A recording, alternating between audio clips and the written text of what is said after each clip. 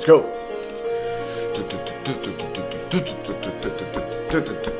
You must with me now. Come on, get up. Go, go, go, go, go. Uh, uh, uh. Victory, we got the victory. Yeah, yeah, yeah, yeah. Dump the thumos. Come on, let's get it now. We're back. Welcome, guys. Hope you're doing amazing. Beware of letting snakes get close to you. Beware of snakes. In my favorite book, The Name of the Wind, it's actually the sequel, which is called The Wise Man's Fear.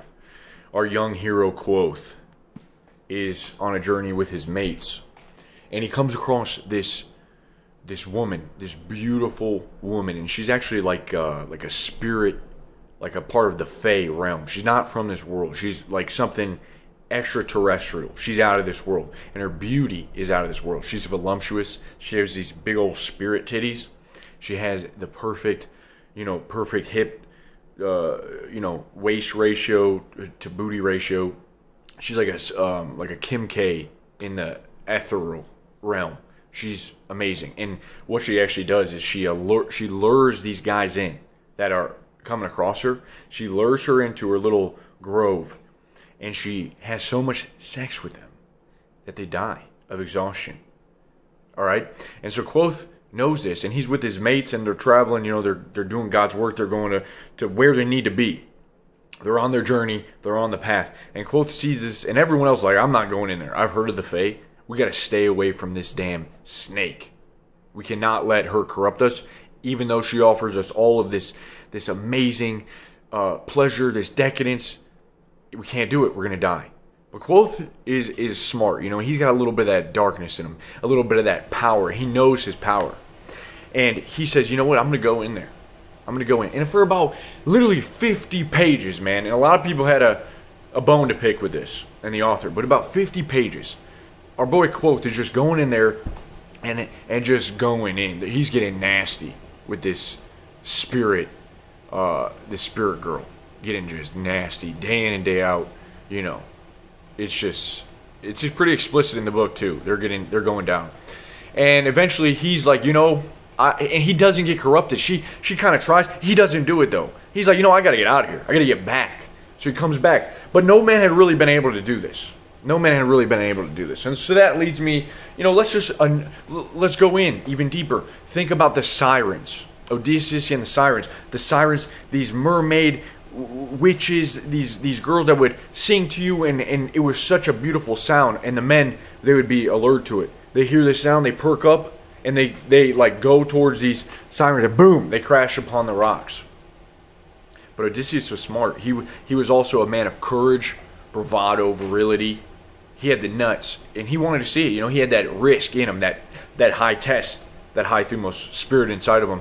And he said, you know, time to the post, the the ship post, and and you guys keep rowing towards these sirens because I want to see them, but put beeswax in your ears. He was intelligent, he was smart, and he gets to see these sirens without dying, where everyone else had died. And it was just this fable, you know. No one knew if the sirens were real. He found a way to tame these serpents, to, to get close without letting them kill him and crush his soul. You'll notice that the story of Adam and Eve. What happens? Adam's close to God. He has Eve, his beautiful, beloved wife. They run around naked, eating as much fruit as they want. They're calling animals by their names. They're touching animals. They're riding animals, you know. Just, they have dominion over the land. And then God says, just do me, don't, you need to do one thing. Don't eat from this tree. That's all I ask for you. Do not eat from the tree. That's it. You got everything else you can do. The world is yours. Have fun. Right? It's not good enough for Eve. Eve gets close to a snake.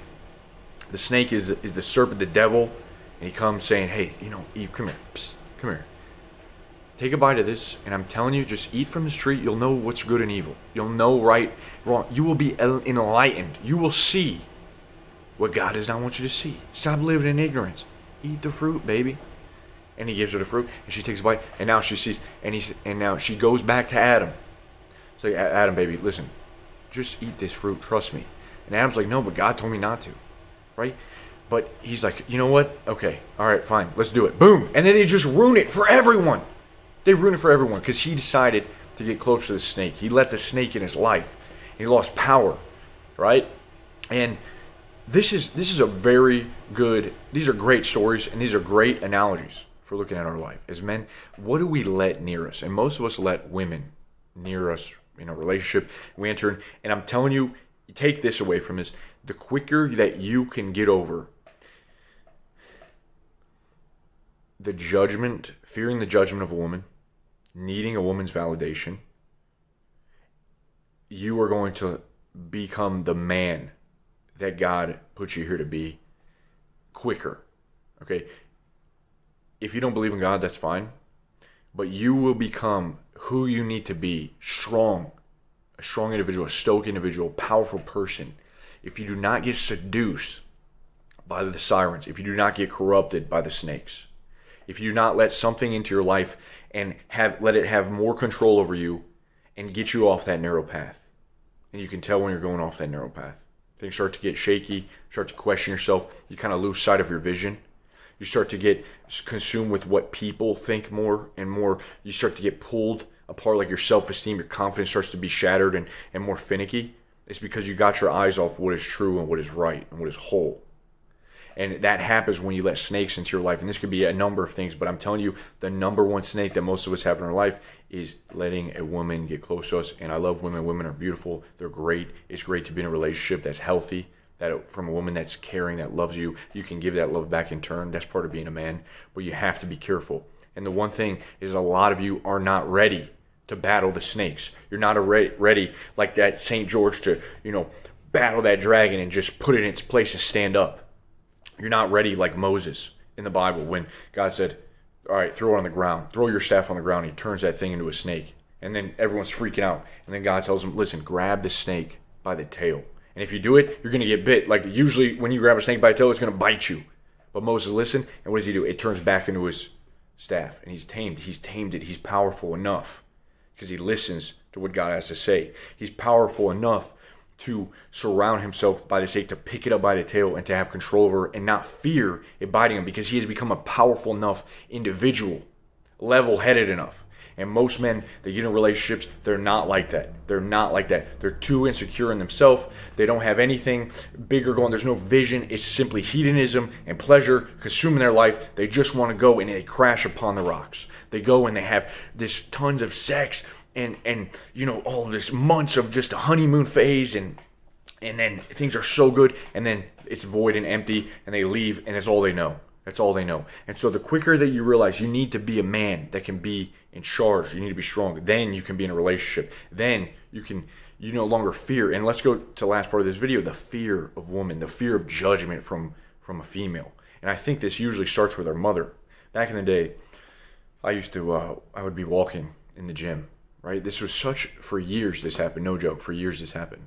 I was young. I was like early twenties, and I would walk into the gym, and as I'm walking down this hallway to go to the weights, there would be these these like hot girls working behind the cash register, uh, the front desk, and I would like feel paralyzed. You know, I'd feel paralyzed when I would walk. It was like I was having this weird experience in my body where I had to, I became overcritical of my movements my physical movements, my walking, my gait.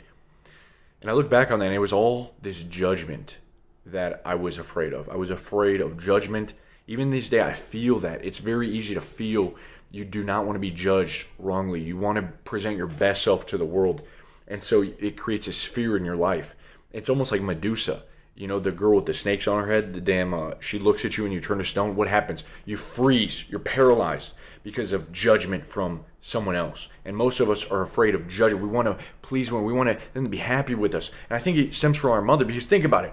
Who, who are you, whose judgment do you fear more? Your mom's or your dad's, right? You, you know, you're jerking off in your room and you're watching porn and your dad comes in and he's like, son, I am disappointed right? He's like, son, I'm disappointing you. Okay. But I understand because I'm a man. I probably jerked off before too. Your mom, though, she comes in and it's like this. She's like, you know, it's like a freaking snake, dude. It's like, dude, your mom, catches you, when your dad catches you, you know you're gonna get beat, right? You know you're gonna get beat. He's gonna give you three lashings, and then you're gonna be good to go. He's gonna be, I love you, my boy. Just cut that shit out. Don't watch it. It's not good for you. But your mom, it's psychological, man. It's psychological warfare. It's psychological shame that you need to deal with. And a lot of times, especially if you um, grew up in a re- religious household, you're going to feel this. You're going to feel a lot of shame, a lot of shame in trying because you were taught you gotta you gotta be nice. You're a nice person. You gotta be nice to people. You gotta be you know you gotta be a um, uh, have like be a gentleman and always be nice. And so you kind of grow up your whole life. You're always trying to please women. And you care about what they think about you. Growing up, you will become a man in your full power when you can step outside of trying to please them without caring. When you're in a relationship, you need to be a leader. You need to be soft enough to hear where you're going wrong and to maybe to have someone point out to your blind spots because then you'll just be a freaking tyrant and just this like crazy individual. But when you stop caring about the judging and always making her happy, you can just be calm, you can be a leader and she'll trust you. And that's a hard thing to explain until you actually know what I'm talking about. And I think some of you can. But when you can relate, you can know when a girl trusts you, when she feels like you just, you're the man and she's the woman. And that's a beautiful chemistry to have. It is very amazing to have that. And so, you know, usually I think can start from an overbearing mother that, that makes us feel this psychological shame and question ourselves and kind of gives us anxiety. I tell a lot of guys, you know, just same thing Jesse Lee, Lee Peterson says, forgive your mom. You know, forgiving your mother is a great place to start if you find that you have this fear of women, this uh, fear of rejection, this this paralysis that you may fear, this awkwardness in your own life. That and so just remember before you jump and shortcut and get into a relationship and go pleasure seeking, make sure that you build yourself into a weapon, into the type of man that can take on these serpents, that can be strong in body and mind, and that can go in without being manipulated, that can surround, that can actually get close to the snake pit, but leave unscathed, that can leave without getting bit and poisoned, and then ultimately death and away from your path in life. And so there's a beautiful verse in the Bible that says, I'm sending you out like sheep among wolves. You must be as cunning as serpents and as innocent as doves. It's a great verse because we, we have to be savvy. We have to be aware of to what's going on, how the manipulation and what happens when we surround ourselves with this and we put someone else first instead of putting God first, the truth, and the path first. That's what we got to be aware of. All right. So uh, keep yourself strong. Keep yourself level headed. Hope you enjoyed this message. Let me know if you need anything subscribe to the channel, leave a like if you desire, and I'll see you soon. Peace.